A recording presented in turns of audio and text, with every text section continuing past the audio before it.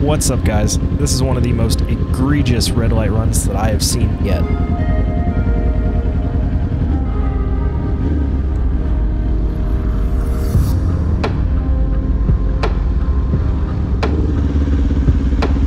The light turns yellow, there's already an SUV in the intersection.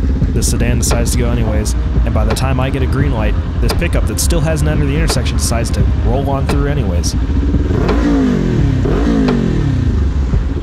I've seen some bad driving around town, but I've never seen anything like this. This is almost as bad as some of the clips that I've seen out in California.